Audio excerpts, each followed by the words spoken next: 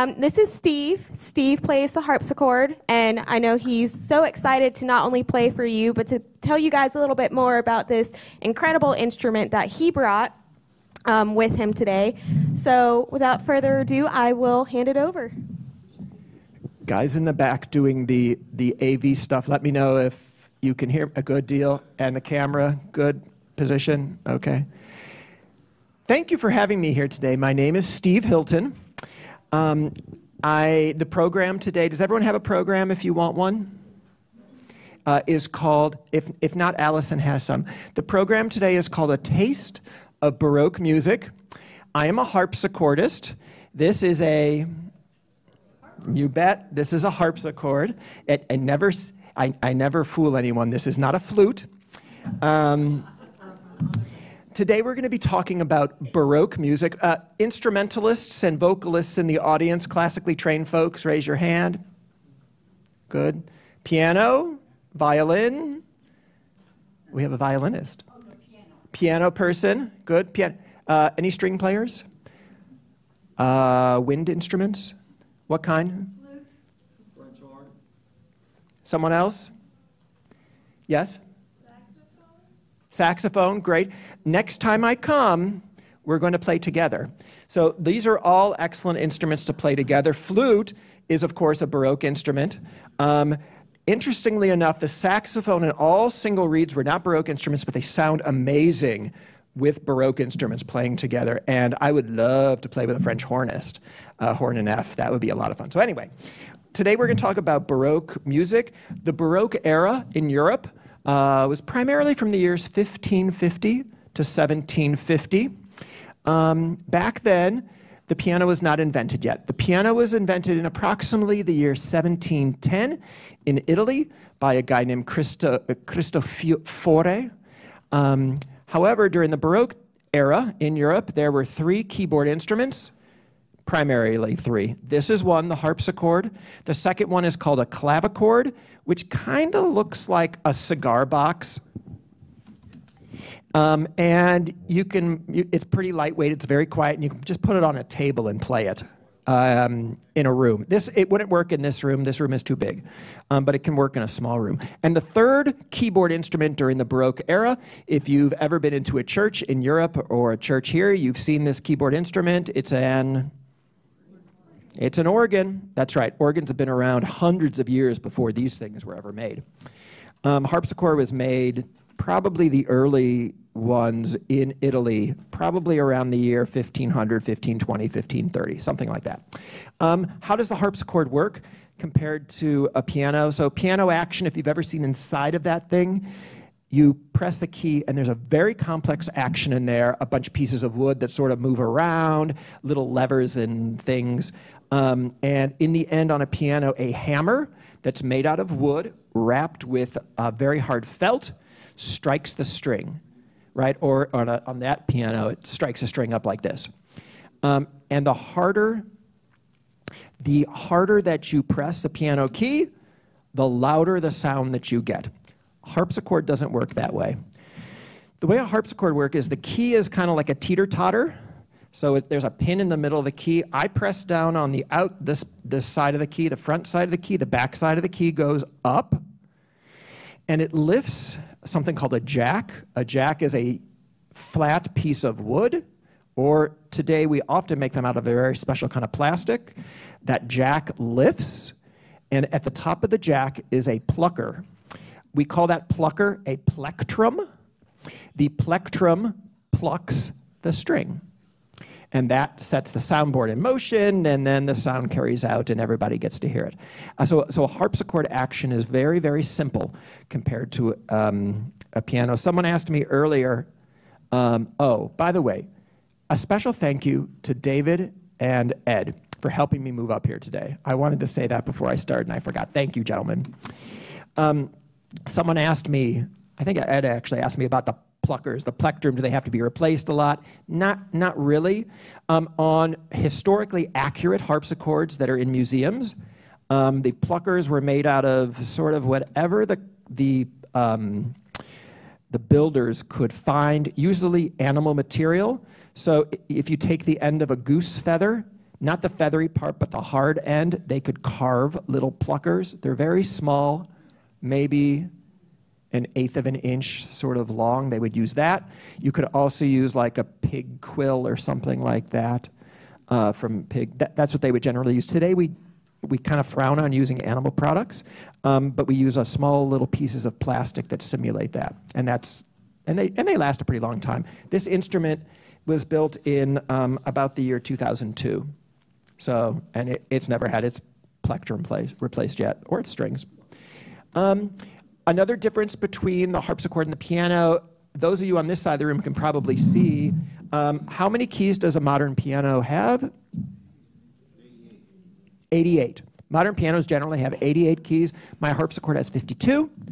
Um, some harpsichords have 47. Some have 63. There was no standard in the Baroque era for any of this stuff, so the builders did whatever they wanted. I have about four octaves and a couple notes. Um, so if I run out of notes, and I will run out of notes on one of the pieces I play today, a little bit later Baroque piece, I will run out of notes. Um, and so I sort of make it up. Uh, I won't tell you, but uh, I have to. I just have to sort of fake it. Um, and that's very common in the Baroque era. We would fake a lot of that kind of stuff because you just didn't have the, You know, you don't have enough notes. Today, we're going to sample Baroque music, taste Baroque music from three countries. I want to get us in the mood for this. Imagine we're in Europe. It's the year 1550 or 1650. There's no electricity. There are no lights. There's no air conditioning, there's no, you know, central heat. There are no cars, there's no trucks. This is pre-industrial revolution. It's a much quieter place than our world is today. The loudest sound you might hear would be sort of horses clomping by on the street or maybe a carriage rolling by. Our instruments, our period instruments, are much more quiet. There's a much quieter instrument than that instrument, uh, a modern piano. So let's go to our first country, France.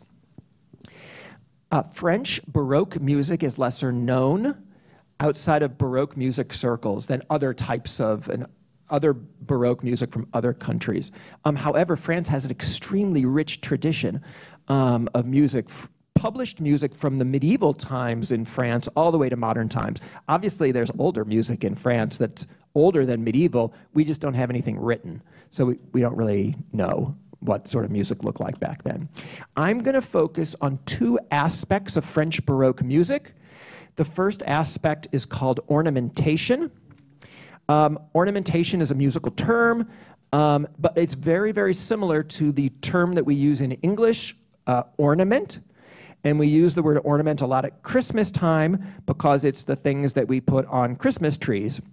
Um, question for you folks why do we put ornaments on Christmas trees, like what does it do for the tree? Anyone have a thought? Sparkle. Sparkle. Someone said embellish. Any other thoughts? Beautify. Beautify. It lights it up. All of the. It does all of those. That's what ornamentation does in music. I can play three notes. Those are nice. I can ornament those three notes. I can ornament them a different way.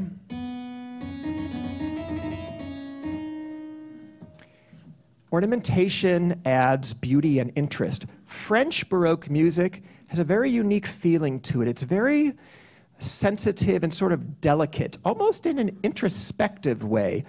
Although, honestly, I think French modern classical music is the same way. If you've ever listened to Debussy or Erik Satie, that's all in the French tradition. And it all started even before the Baroque era, French music is kind of like that.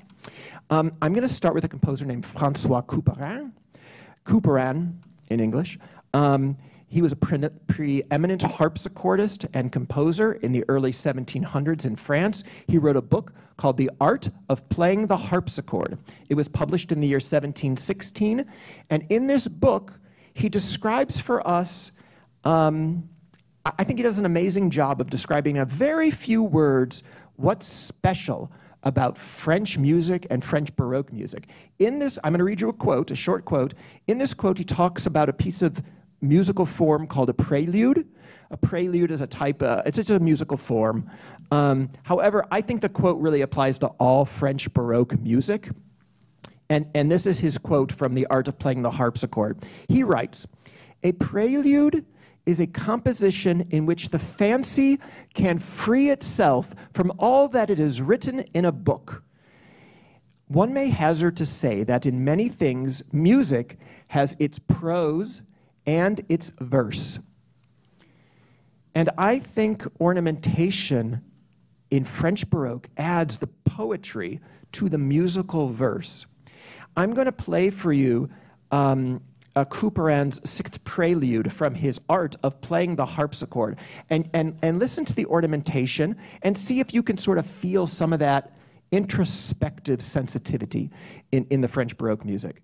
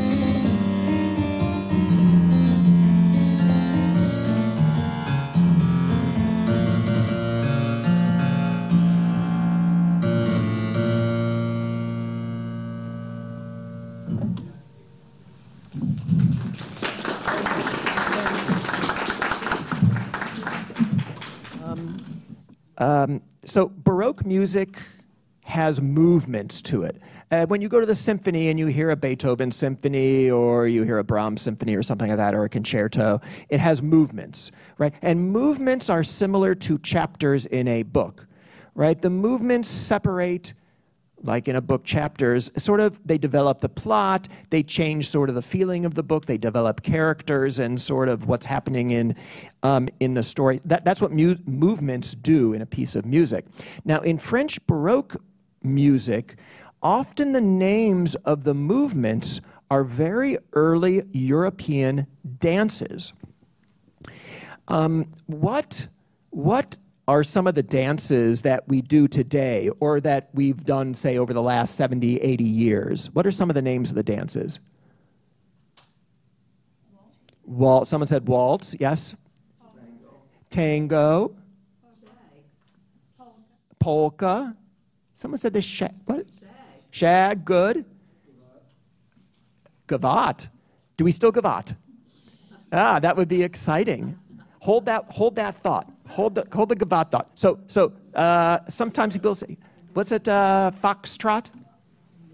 Uh, merengue, salsa. All of those kinds of dances, with the exception of the waltz and the gavotte, were created um, between the years 1900 and 1950. So they're dances that are 100-ish years old, is sort of like that. Waltz is a little older, is created in the uh, 1800s. French dances and, and, sort of these early European dances are words that we generally don't use anymore, and we generally don't dance them, although this gentleman knew uh, one of those words, which is a gavotte. That is one of these early European dances. So is bourrée, allemande, sarabande, courante, minuet. These are all early European dances that most of which started like in the Renaissance went through the Baroque, and then fell out of fashion. So they were around for a few hundred years. Back then, um, right, we had no TV, no YouTube, no CDs, right? So people entertained themselves with dancing and music a lot. So dances lasted a lot longer then than maybe they do today. Um, I'm going to um, play a piece of French Baroque music for you in allemande. An allemande is a, is a dance in four beats, like a foxtrot, kind of formal, like a foxtrot. Um, this is from uh, Jean-Henri d'Anglebert. D'Anglebert, this is from his suite in G major. He wrote it in 1689. You'll hear lots of ornamentation in this piece also. So here's what I'm going to do. At the beginning of the piece, I'm going to play it without the ornamentation. I'm just going to play the notes that are on the page that the composer wrote. And at some point in the middle of the piece, I'm going to switch and, and and ornament it myself, okay? And, and you'll get a sense. And I do this um, primarily because some people don't like a lot of ornamentation, like my mom. So I have to strip it all out for her. Um, but some people love the ornamentation, so I put it in. So it'll give you the sense of sort of what's going on with this French music.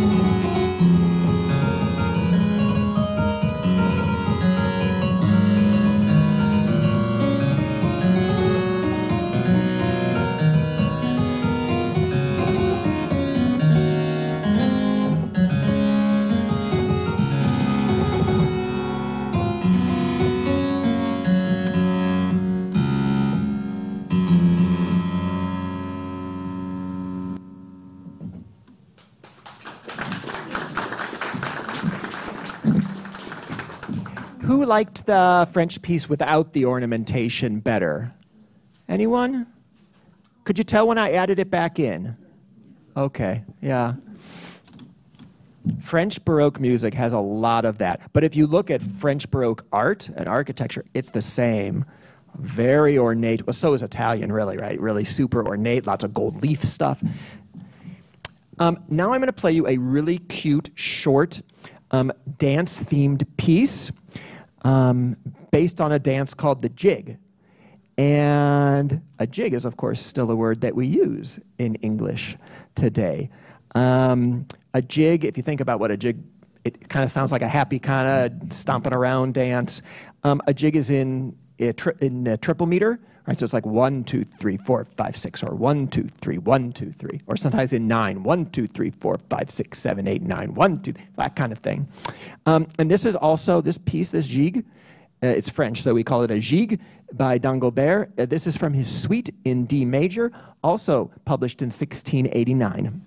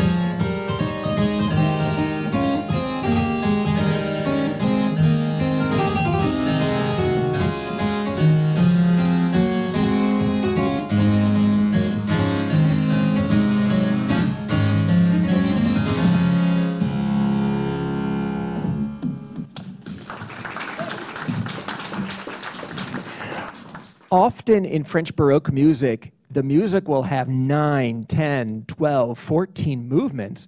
And so they'll break it up with little short jigs like that. And often the jig is also at the end, because I mean, they're so darn cute. You, you, sort of listen to them and you sort of smile.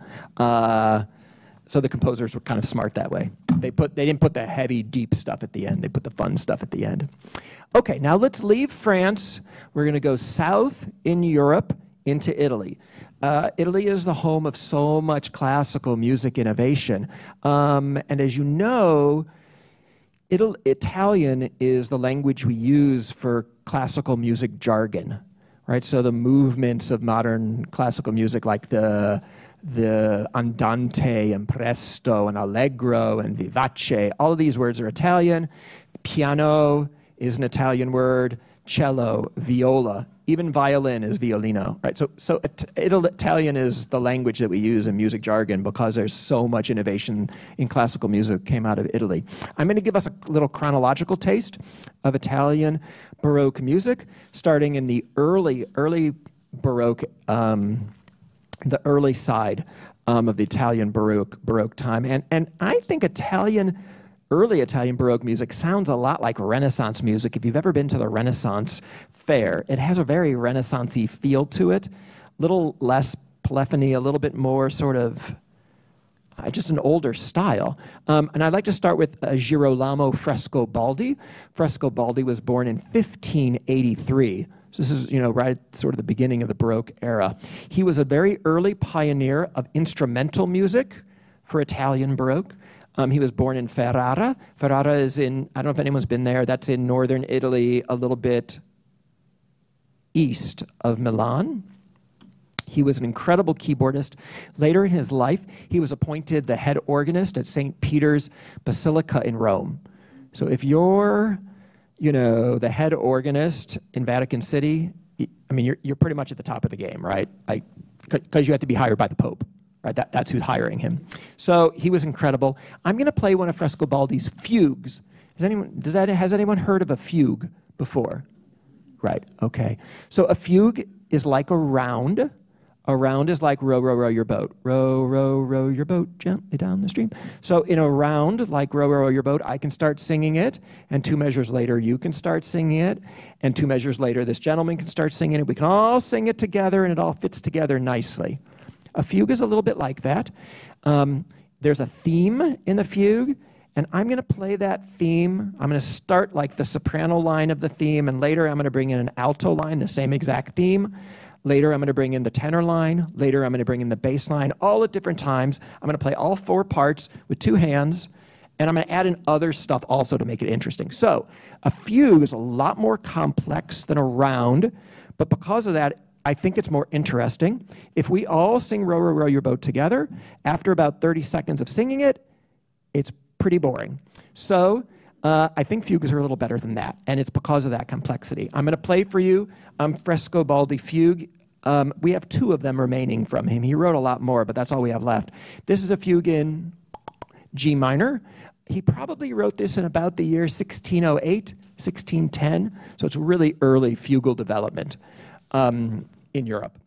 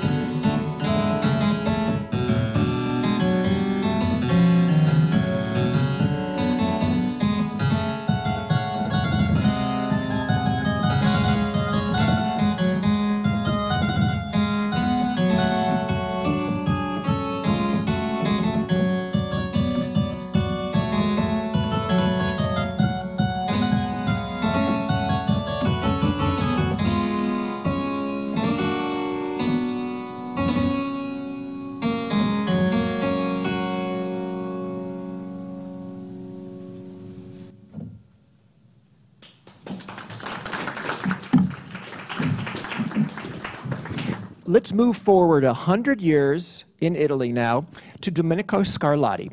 Domenico Scarlatti was born in 1685, so that's about 100 years after uh, Frescobaldi.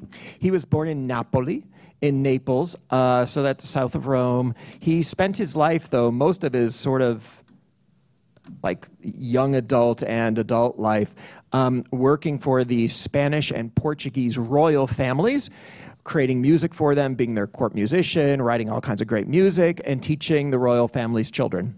how to play music because that was expected um, of, of royalties' kids.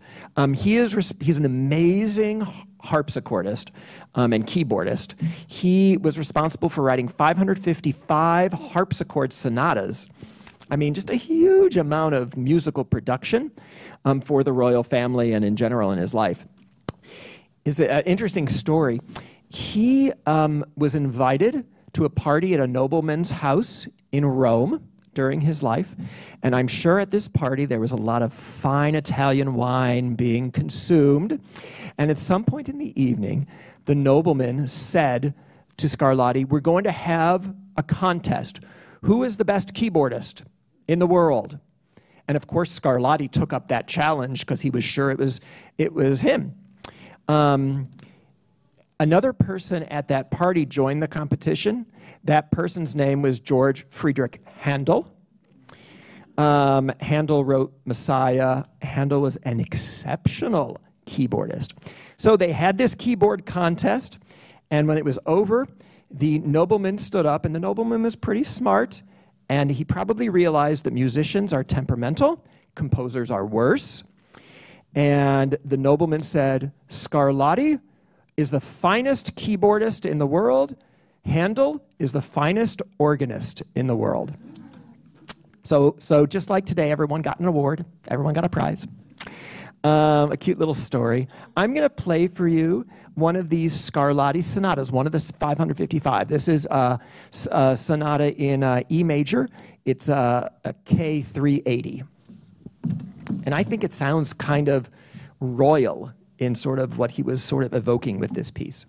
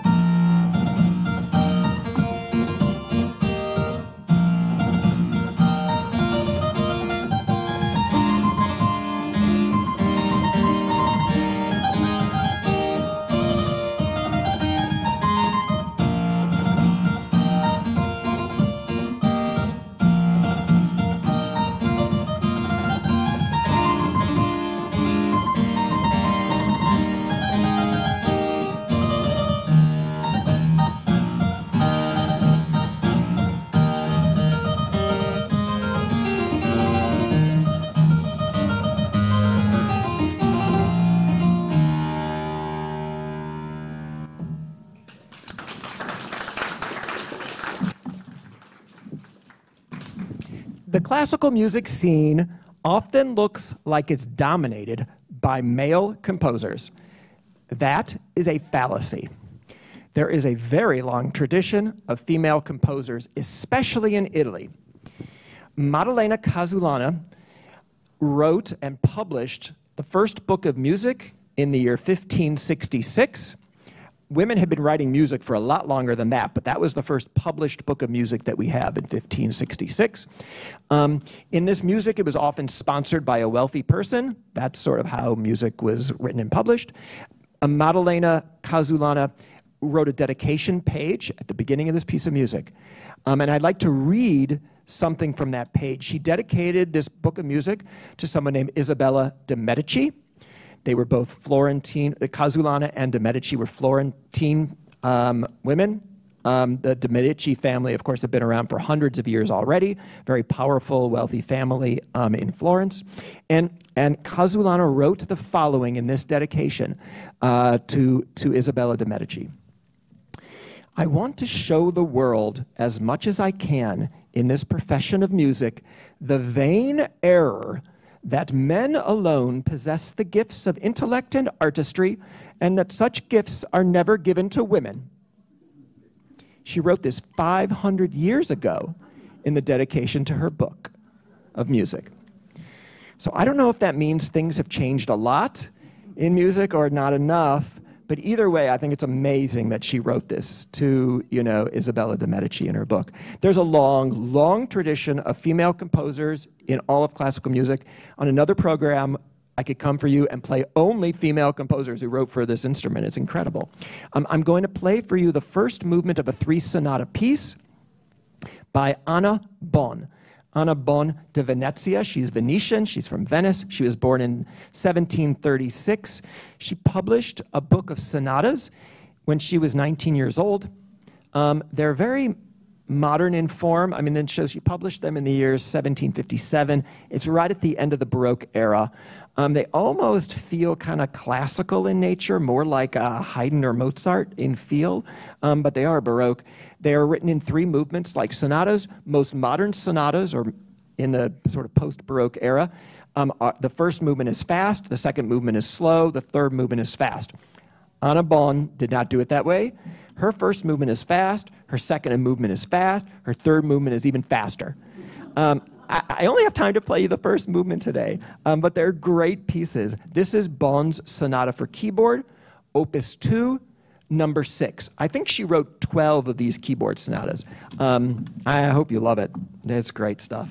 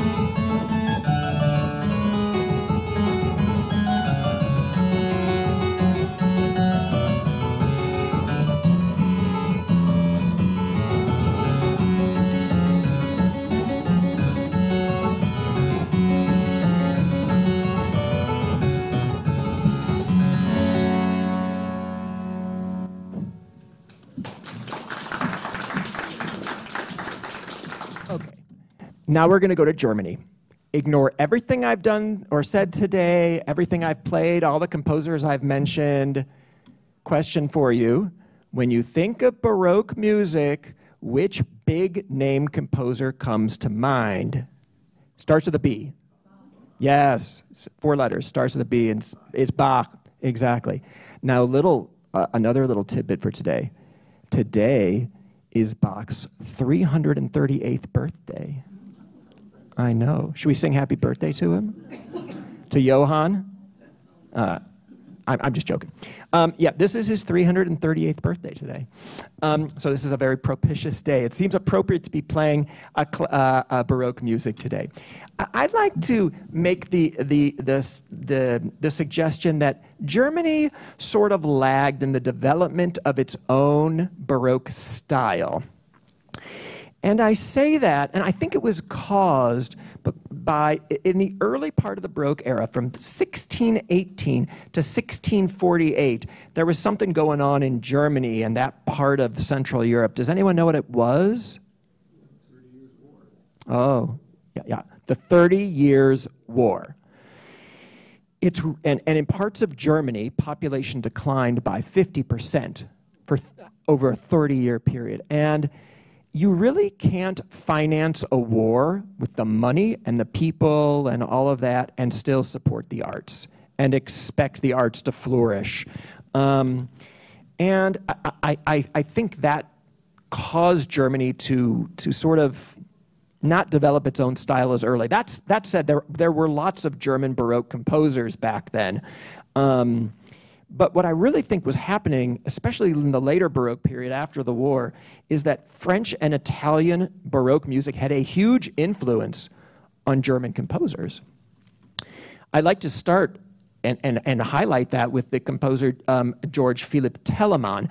Telemann was born in uh, 1681, so sort of that, that second half of the Baroque era. Um, he was a hugely popular musician and composer. He was an organ master, a choir director. He worked at the finest and largest churches in Germany. He, in his day, he was a contemporary of Bach. They were around at the same time. They knew each other. Telemann was much preferred in Germany than Bach ever was. Um, Telemann was also better liked as a person. Bach was a little difficult to get along with, a um, little temperamental, and Telemann's music was, was definitely preferred over Bach's music.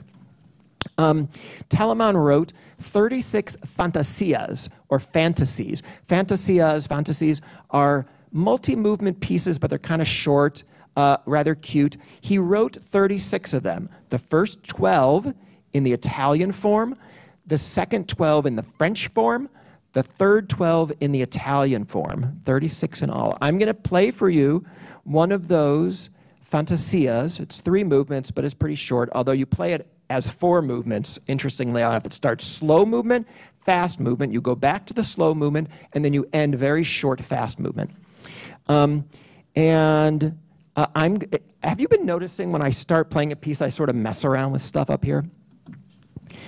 Um, that's because the harpsichord can make different sounds um, I can invoke different sounds on the harpsichord, much like an organ. This is related to the organ. On an organ, if I want it to sound like a, a horn or a flute or strings, I pull out stops, little levers on the side or press in buttons. Harpsichord has some of that. I've got little knobs up here I can adjust. You can't see them, they're inside here. Afterwards, come up and look.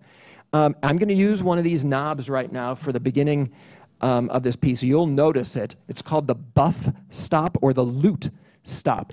It, it pushes a small piece of leather up against every string. You'll notice a difference when I play with the lute stop than when I don't. After I play this piece, I'm going to ask you a question. Uh, and the question, I'll tell you what it is ahead of time. Uh, it's a little quiz. Is this Fantasia written in the Italian form or is it written in the French form? That'll be the question. Okay, here we go. Telemann Fantasia uh, in uh, E minor.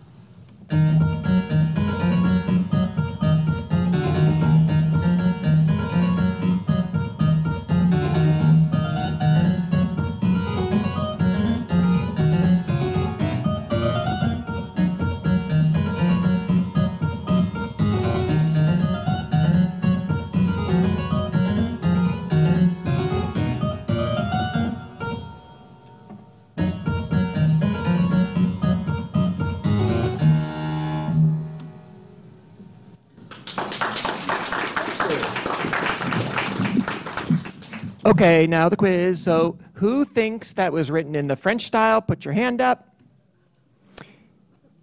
Who thinks it was written in the Italian style? Put your hand up. Okay, a lot of people not sure, not willing to commit. So, so there's a clue. If you look in the program at the names of the movements, they are in French. This is written in the French style, although it's kind of a trick question. Telemann is German. He's writing in the French style. It's not exactly French, but he, he considered this the French style. So this is one of the 12 uh, uh, uh, he wrote in that sort of middle section. So Johann Sebastian Bach, most well-known Baroque composer today, completely legendary, um, highly, highly influenced by French and Italian Baroque music. We, we could do one program or a hundred programs on Bach easily, easily. Um, I'm going to play two pieces of Bach for you today. The first one um, is a short selection from the Goldberg variations.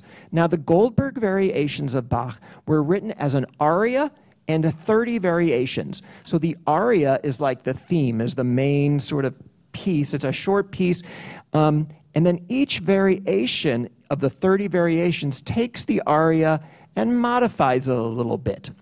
Right? So it's it's sort of an aria in 30 variations. It's an extremely long piece of music, uh, an incredible piece of music. Um, this piece of music, the Goldberg Variations, was written for uh, a Count Hermann Karl von Keyserlingk. Uh, Count Keyserlingk was a Russian ambassador to the Saxony region of Germany. And he had insomnia. And he once came to Leipzig to meet Bach, and he asked and commissioned Bach to write a piece of music to help him sleep at night. Bach wrote the music for him, delivered it to the Count. The Count gave it to his chief head musician, whose name was Johann Gottlieb Goldberg. Johann Gottlieb Goldberg was the first person to play this music besides Bach, and so we call this piece of music the Goldberg Variations. It's a great story. We don't know if it's actually a true story, but it was written, that, that story was written by Bach's first biographer, who wrote Bach's biography shortly after Bach died. So we think it's true, we just don't know for sure. In order for it to be true, when this piece, when the Goldberg variations were written, given to Keyserlingk, and Keyserlingk gave it to his, his, his chief musician to play, Johann Gottlieb Goldberg would have had to have been 14 years old. It's possible that he was in the employment of the count at that age, but we're not sure. Either way, it's a really great story. So let's go with it um, as a great story. I'm um, going to play the aria, right, that theme piece for you. Um, it's written in the French style. If you remember what we said about Couperin, when he, Couperin wrote that book, The Art of Playing the Harpsichord, and I read you a quote. And I really think in this aria, this is Bach freeing himself from all that is written in the book. This is Bach sort of opening up the heavens and writing um, music. And I, I, think, I think you'll be able to feel that um, in this aria. This is the aria from Bach's Goldberg Variations.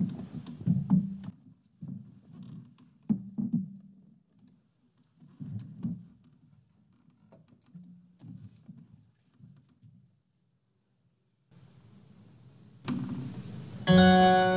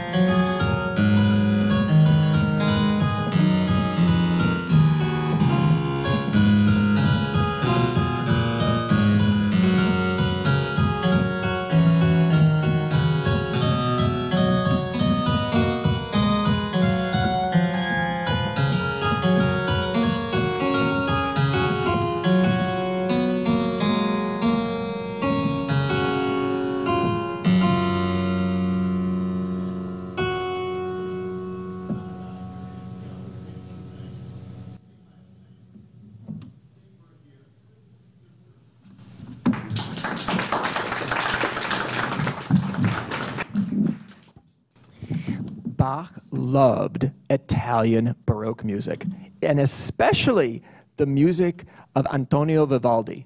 Uh, Vivaldi, I guess his claim to fame is uh, the Four Seasons, uh, that huge string piece. So Vivaldi loved the violin, and the violin was rising in his time. So he wrote a lot of um, violin music and, and stringed music. So Vivaldi created the modern concerto form. So so a concerto, when you go to the symphony, you have a solo instrument who stands up front and is a violin or a piano or a flute or whatever, and there's an orchestra behind them, and then the soloist is playing this incredible music, and then the, the orchestra accompanies them. So, so in, in Baroque music, we don't call the orchestra an orchestra um, in this concerto form. We call it the, the ripieno section. And, and the Italian word ripieno um, means a stuffing or filling, stuffing or filling. So it's kind of the orchestra sort of fills in, sort of stuffs up the music a little bit. Um, and, and, Vivaldi is responsible for creating this modern concerto form, this concept of a soloist playing with sort of an orchestra behind them. That's a Vivaldi thing. Bach loved this. Bach was a contemporary of Vivaldi. They were, they were writing at the same time, they knew each other.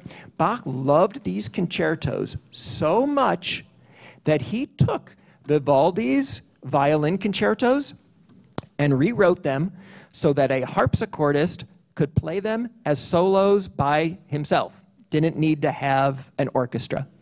So literally, Bach just literally rewrote pieces of Vivaldi and published them as his own. So it turns out, so this was done in the year 1713 to 1714. As a note, there were no copyright laws um, in Germany at the time. The copyright laws, uh, earliest copyright laws were in the United Kingdom in the year 1710. They didn't make it, copyright law didn't make it to France until 1766, and, uh, and uh, it didn't make it until Germany until later, until even later. So this was allowed back then. Uh, today, of course, you would get sued if you did what Bach did for Vivaldi. Uh, but it's, I'm glad he did it because we've got these pieces. I've got these pieces to play on the harpsichord. I'm going to play for you my final piece today, and that is one of these concertis. I'm going to play you the first movement of the Bach harpsichord concerto in F major, which is really the Vivaldi violin concerto in G major. Same piece of music. And it kind of sounds like a violin piece, uh, which of course is the genius of Bach. I hope you enjoy it.